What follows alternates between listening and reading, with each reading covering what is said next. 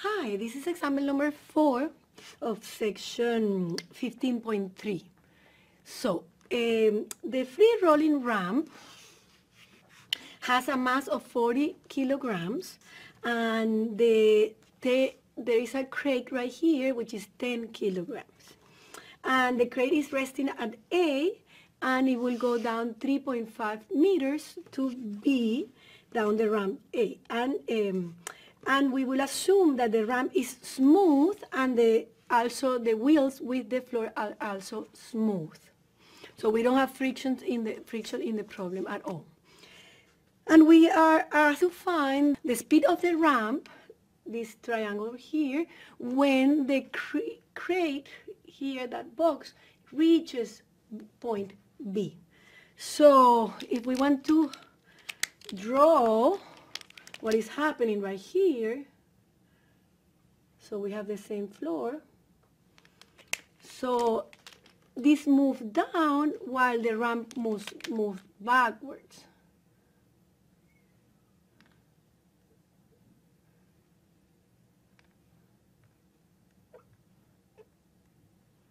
So I here I have the box at point B. This is, will be point B. is point A. And uh, if we want to draw the free body diagram to see what forces do we have, we have two normal forces. Let's call this N1 and N2. And we have the weight of the crate and we have the weight let me put it, the weight of the ramp, you know, it will be a little bit more to this heavy side. I don't have to calculate where it is because I'm not taking moment, but I will put it, it will be around here, weight of the ramp. So let's call this ramp and let's call this crate. Okay, so this is going in this direction, velocity of the ramp, and this is going as you see, the velocity of the crate will include the velocity of the ramp, and then I have a relative velocity from the crate respect to the ramp, which will be in that direction. So if I do the kinematics analysis,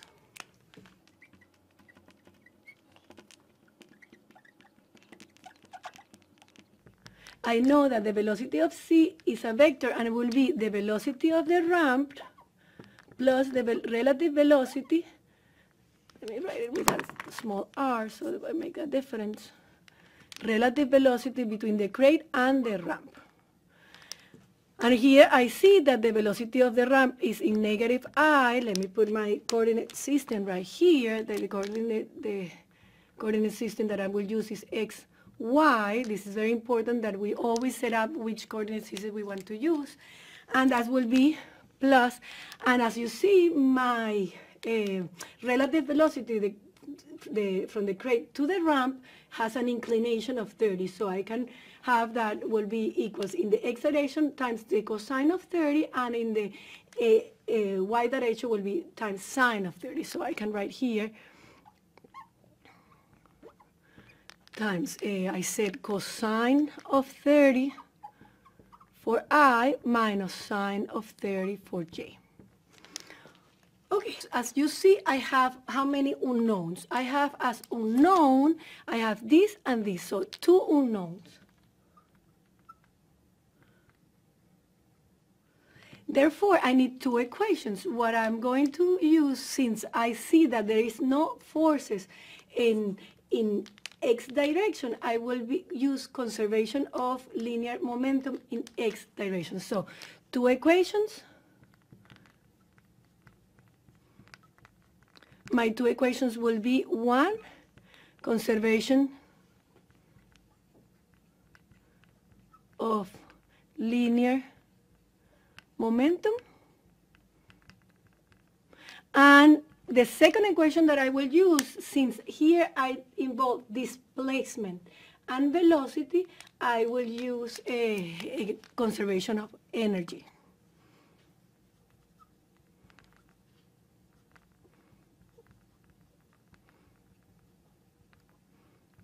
As well. Because why can I use conservation of energy? Because since they, they, they told me that all the surfaces are smooth. I don't have any uh, friction, therefore I don't have any non-conservative forces in my problem. I apply the first uh, is conservation of linear momentum.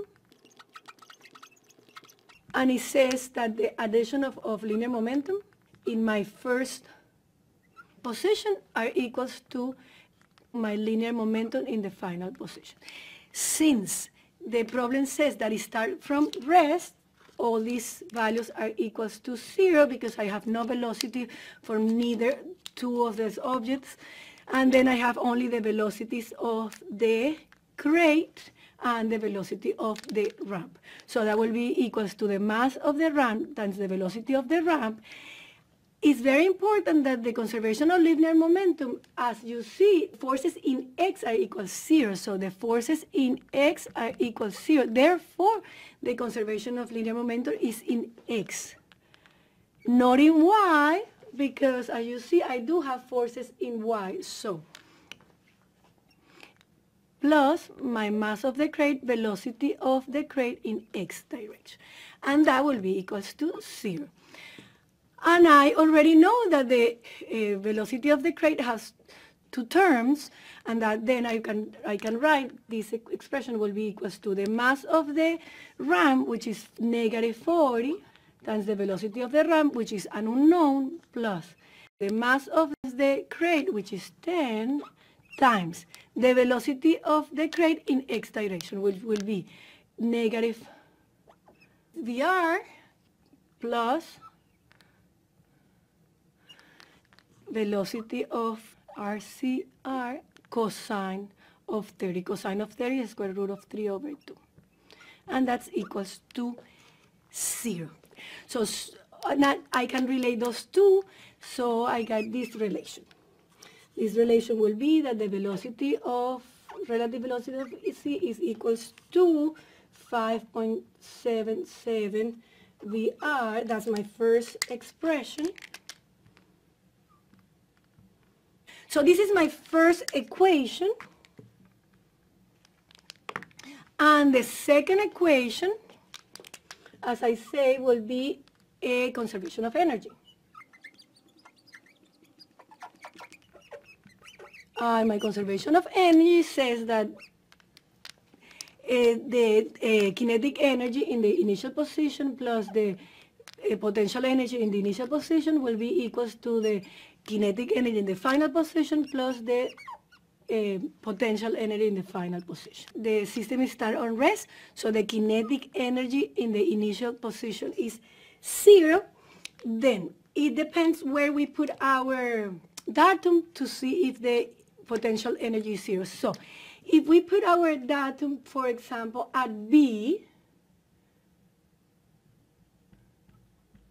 then we have potential energy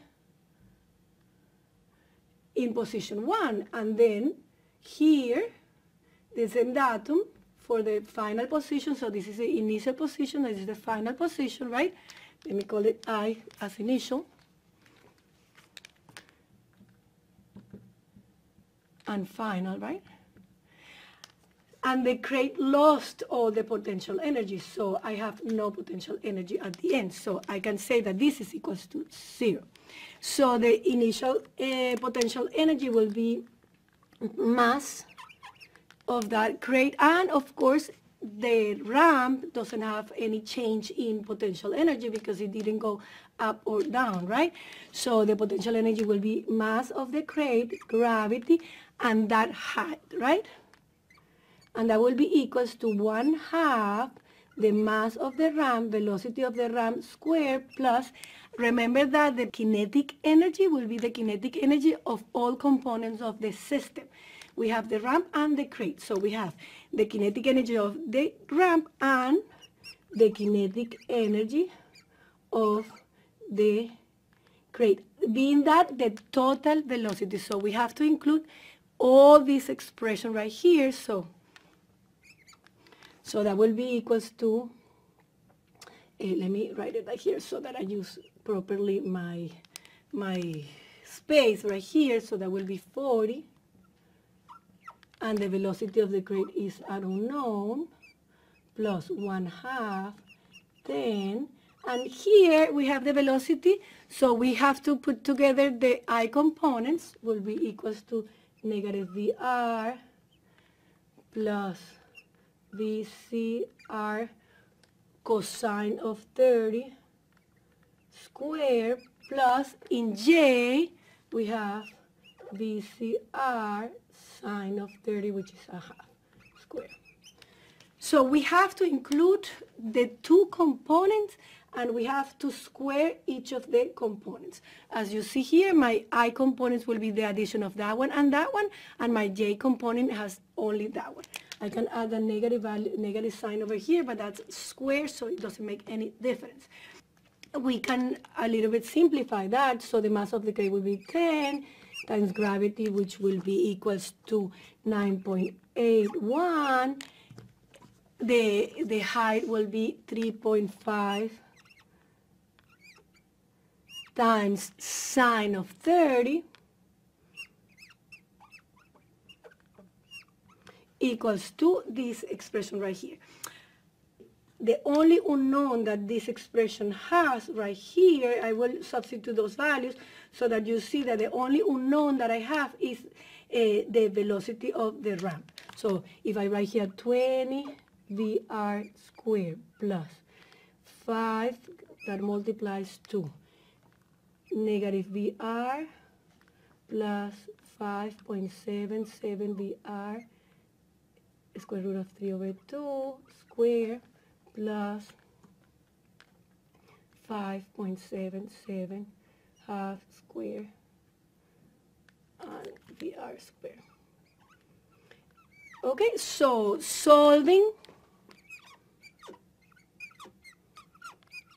for velocity of the ramp, I get that is equals to 1.1 meters over second. That's in magnitude. If we want to write that as a vector, that will be equals to negative 1.10 I meters over second. And of course, that allowed us to substitute that value here, and then we find how much is the the relative velocity, and once we find the relative velocity, we can find the velocity of c. Um, actually, we are not asked to find those velocity, the velocity of the grade, but we are asked, we were asked to find the velocity of the ramp, which is that solution right here. But once we have that, you see that we can also find the velocity of the grade.